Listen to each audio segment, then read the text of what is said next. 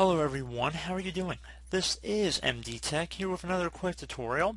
In today's tutorial I'm going to show you guys how to make Windows Media Player the default playback program for audio and video files on Windows 10. Similar concept will apply for Windows 8 as well. And we all have probably heard of Groove Music at this point, but some of us want to go back to the Windows Media Player for all audio file playing purposes. So this should hopefully be a pretty straightforward tutorial, and without further ado, let's jump right into it. So we're going to begin by opening up the Start menu. Just want to left click on it one time. Type in Control Panel. Best Match should come back with Control Panel above Desktop App. You want to left click on that one time. You want to set your view by up here to large icons. And now you want to left click on the default programs section.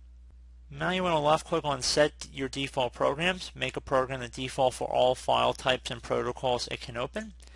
So left click on that. And now if you're on Windows 10 it should open up this new window. If you're on Windows 7 or Windows 8 it shouldn't do that to you. It should still be within that same window but Windows 10 they try and direct us to this new interface here.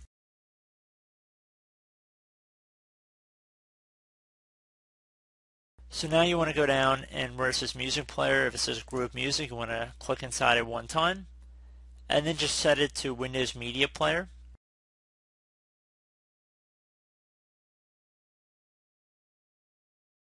And you can also scroll down a little bit further. You can see if there's anything else in here as well.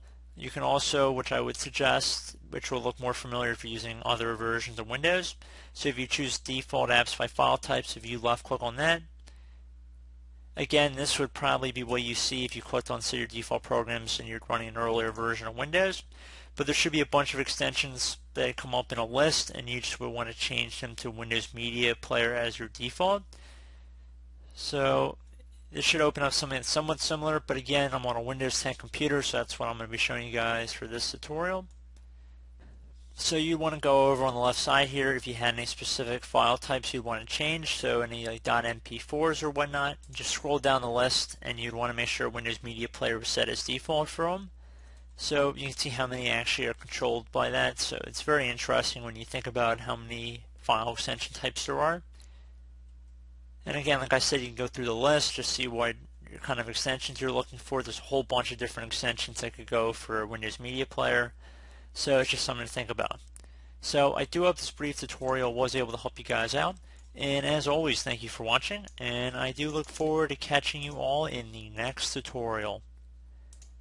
Goodbye.